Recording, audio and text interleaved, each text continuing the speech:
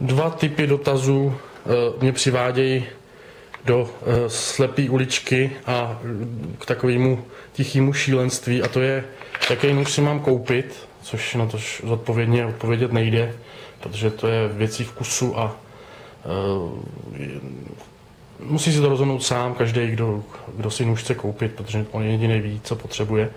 A druhá věc je, jaký pouzdro má ten a ten nůž, SC nebo Rad Cutlery, protože v tom je takový hokej. A už se dokonce stalo, že i nůž pod stejným označením přišel s jinou barvou pouzdra nebo třeba s jinou výbavou. E, přiznám se, že se v tom přestávám vyznávat. E, vždycky jsem rád, když, když přijde nějaký model, e, nebo když ho zákazník objedná a my ho můžeme nafilmovat, nafotit tak, jak je, balený s pouzdrem a samozřejmě s tím to je další věc, která je podstatná se systémem pro upevnění na, opa- na opasek. Pokud tam vůbec nějaký je, jestli tam je molelok, nebo jestli tam je nějaký takový klip jako u tohohle nože, nebo jestli je to samotný pouzdro, u kterého se předpokládá buď třeba použití tekloku, ten rozměr by tam měl být, aspoň doufám, že, že na to mysleli, a nebo prostý přivázání parakordem, což si myslím, že je asi nejlepší možnost.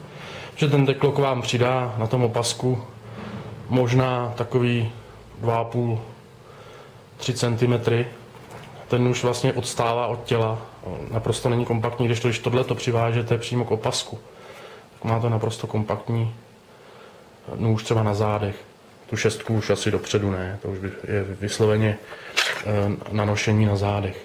Nebo třeba ještě by se dalo nosit na, eh, na prsou, na vestě, třeba na levé straně. Šestka ideální outdoor. Skvělá velikost na, na takový už i těžší práce. A to už jsme si určitě několikrát říkali.